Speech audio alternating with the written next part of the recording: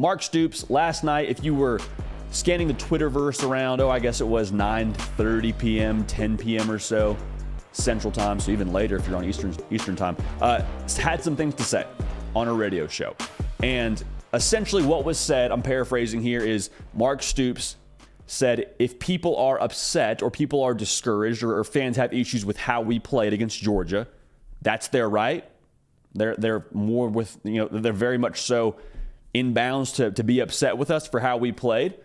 But I would also tell them that they should pony up and, and, and give more. They need to put more into the program so we can get the caliber of players that Georgia has. And the verbiage he used, I think, was the things that kind of set people off. He said Georgia bought a lot of really good players. And he kind of said it tongue in cheek, but he meant what he said from where I was standing. And he also said, I would encourage people to pony up. He's like, it's within the rules now. That's what has to happen. So, what do we make of all this? Part of it landed a little bit weird, and we'll unpack why that is in just a second. But, like, a lot of people are mad at Mark Stoops today for saying that. Like, I don't have an issue with the content of what he said. It's NIL. It's a reality. It's a, it's now a part of the rules that you can operate within. Like, yes, Georgia, I would imagine. I don't know this to be true, so I'm kind of assuming here that Georgia has a more competitive NIL structure than Kentucky. Based on what Mark Stoops is saying, that's what he's implying. Georgia is being able to compete more in that space than Kentucky is. So if if I'm a top recruit, I don't think NIL is the only thing, but I think it definitely has to be a factor when it comes to picking where I want to go to college. Just kind of the reality of what we're doing now in college sports. So what he's saying isn't incorrect, but the context and the way that he said it is what set people off. Because we forget now, Nick Saban said this exact same thing, but he said it in a closed forum. He said it in, I believe it was, uh, might have been a meeting with potential boosters, or it was it was an in-house meeting essentially. He didn't know he was on the air. Mark Stoops, I believe, said this on like a radio broadcast.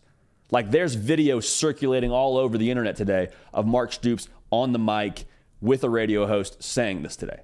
So it, it wasn't something where he was, you know, just kind of saying it behind closed doors to people that actually are going to give. He just broadcast it to everybody. And also, he said it after they got throttled by Georgia.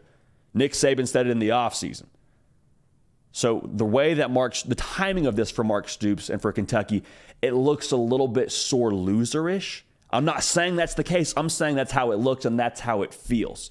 Like if you want to ask for money in the offseason and kind of rally the boosters behind closed doors or say, hey, you want us to win some national titles or bring home some SEC titles, let's get our NIL structure in place. That's fine. But to do it during the season after you just got drubbed by Georgia, it ain't a good look. It ain't a good look. And I would also make sure we say this kids that commit to Georgia, they commit to Georgia. Probably a factor in every kid's recruitment is NIL, like we talked about. But kids commit to Georgia for the most part, not because NIL is just creme de la creme. I think they commit to Georgia, if I had to guess, because of the way they get developed, the way that they have a chance to get drafted, and because of what Georgia does on the football field. And if you want to have NIL resources given to your program, you know what you got to get? Hardware. And this is not a dunk on Kentucky kind of segment right now. Kentucky has done a ton. Mark Stoops, I think, is quietly one of the best coaches in college football. He deserves a ton of credit for what he's done. But to say that we need more resources, well, if I'm a booster at Kentucky, I'm saying, okay, well, I need more results. I'm not going to give to a team that's, that's not competing year in and year out for SEC titles. Now, Kentucky's been in that conversation, but it's a lot easier to give when you have some hardware. We all understand that. So I'm not saying what Mark Stoops is broadcasting is incorrect or, unfair, but the context, the timing of it, like if I'm a player in that locker room, even let's take it a step further. If I'm a player in that locker room and I hear my coach saying, well, we need better players, I'm like, screw this, dude. You think you think you need to get better NIL so you can have better players? I'm not good enough for you. Like that that's something that I think would be difficult and I would not be surprised if we had a follow-up conversation or a follow-up message from coach Stoops kind of clarifying what he said. I'm not saying it's 100% the case, but that's kind of the way that it felt to me. So, timing, context, it's everything. The content I don't have an issue with. The timing is what I have an issue with. And again, if you're able to develop guys at the level that Georgia is and put guys into the NFL at the level that Georgia is, and you're able to win at the level that Georgia is, I would have to imagine there's more money coming your way.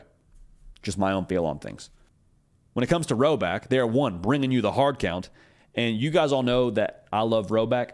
I wear it all the time. If, if you tune into my Instagram stories on Fridays when we're doing Q&A, I'm always rocking some Rhoback. And I wear them all the time for a reason because they have the best polos on the market. They got the best dry fit shirts on the market. I say dry fit. I don't know if I'm allowed to say that. They have the best moisture wicking shirts on the market. Uh, if you need a polo to last you the entire day on a hot game day, Rhoback is your answer. Now, they also Got some performance crew necks that are going to take care of you and also, you know, keep you comfortable and warm as we're getting into crispy season. Some great hoodies as well. Uh, the moisture wicking technology and four-way stretch makes it easy to move in while keeping you feeling fresh. Rhoback's everyday shorts are the perfect pairing as well. They're comfortable, have an elastic waistband, and great fabric that is made to stretch. Now, Rhoback has also been proudly leading the charge in NIL, having signed partnerships with college stars Cade, Cl- uh, Cade Klubnik, Kyle McCord, Nick Singleton, Jalen Milroe, and Audric Estime. They've also teamed up with legendary Coach O. And there's a lot of really good content on their socials, so go check out Rhoback. That's phenomenal stuff they're doing with Coach O. Use the code JD on Rhoback.com for a generous 20% off for all new customers. That's spelled R H O B A C K.com. That's 20% off all performance polos, shorts, performance crew necks, and more with code JD. So, just in time now for this back half of the college football season, make sure you check them out at Rhoback.com. Hey, y'all, thanks so much for watching. Subscribe to the channel here to make sure you don't miss an episode of The Hard Count. Also, be sure to check out other videos on the On3 YouTube channel.